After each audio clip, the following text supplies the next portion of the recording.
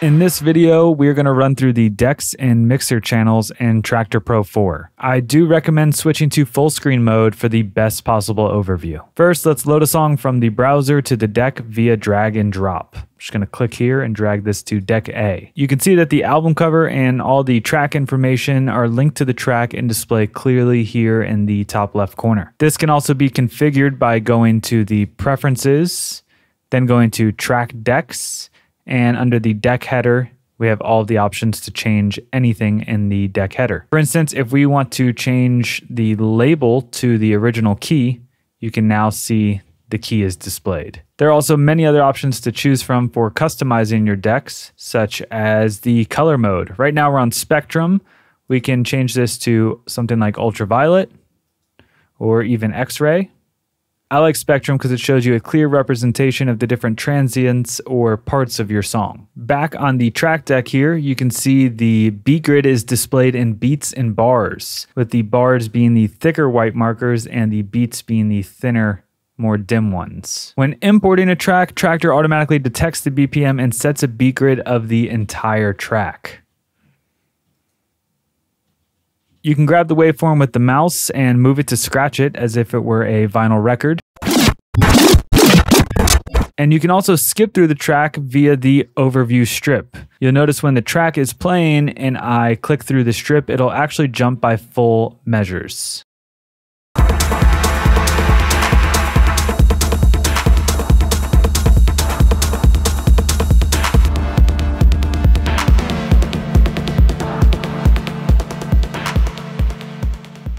Go ahead and press play on the track.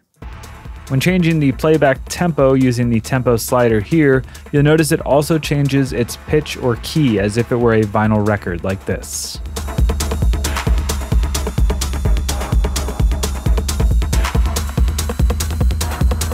Double click to reset. You can avoid changing the key by enabling key lock right here. You can also enable it here in the mixer and this will allow you to change the tempo of the track while maintaining the key.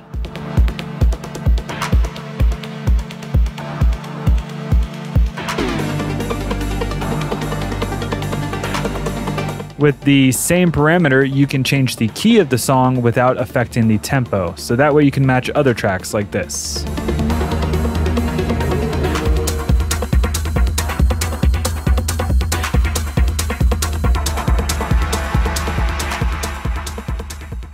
We can access our stored hot cues down here inside the cue tab. Let's say we want to add another hot cue. I'm going to go down here and let's set a cue right before the downbeat. And to do this, I have snap disabled, which allows me to place a cue anywhere on the track. I have a new hot cue. Let's trigger it. We can delete it right here. Now with snap enabled, when I set this cue, it's going to set it to the nearest beat like this. Notice how it puts it on that first beat. Let's trigger it. And we can delete it here. If you work with stored loops, the loop activation button right here will allow you to enable loop mode without setting a new loop. This way, once your play position has reached the stored loop, it will automatically start looping like this.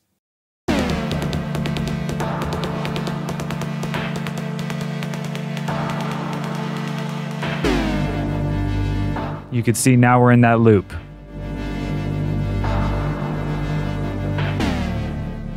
Let's jump over to the Move tab, and you'll notice here we have Beat Jump. This allows you to do beat accurate jumps forward or backward through the track, which can serve to shorten or lengthen parts of the track on the go. Check this out. Let's go ahead and hit play. I'm set to four bar beat jumps. Two, three, four.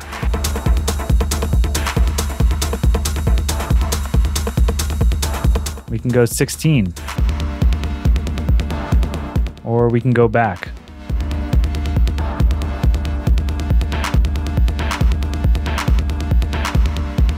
And those are beat jumps. We also have an option for reverse. This allows you to reverse the playback of the track, but once you release the button, it snaps back in sync like this.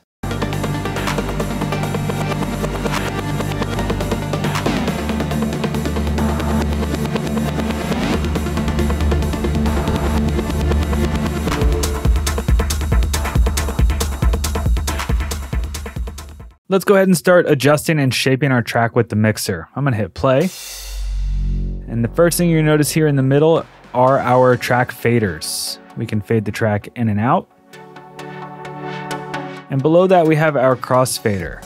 Depending on the position of the crossfader, this determines how the audio gets routed to the master output. So you'll see if I'm over here on A, which I have my deck selection A under this side of the crossfader, we're hearing deck A. Let's go ahead and bring in deck B. And we're gonna fade over to B. Now we're hearing both.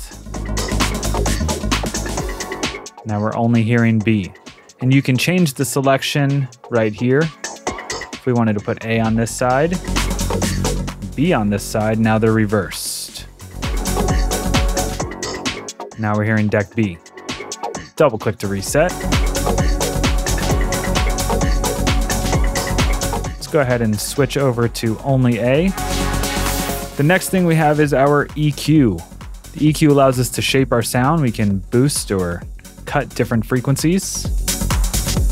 Boost in the highs, double click to reset. If you want to cut them, you can click this little button here. And same with the lows. Double click to reset. Then we get to our filter. These are our mixer effects. Let's turn them on. Here's our filter.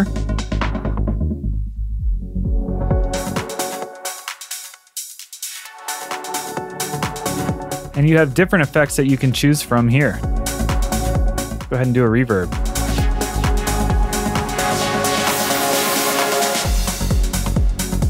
Switch this back to filter. These can also be customized in the Traktor preferences. Under the mixer tab, we can have different styles for our EQ curves and our filter. We can also change and add different effects to our mixer effects. Another thing you'll notice is the key. The key allows you to change the key as I showed you earlier, just like this. You can use the knob to change the parameter settings.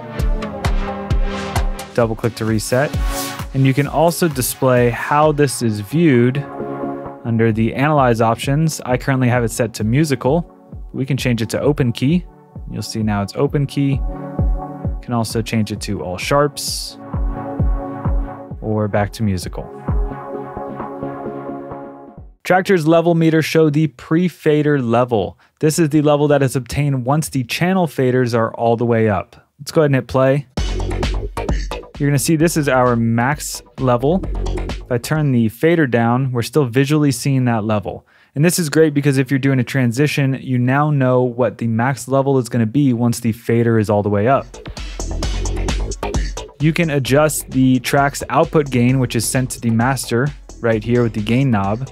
So if I turn this down, you'll see this is now our max output. If I turn it back up, we're only hitting this level. Let's double click to reset.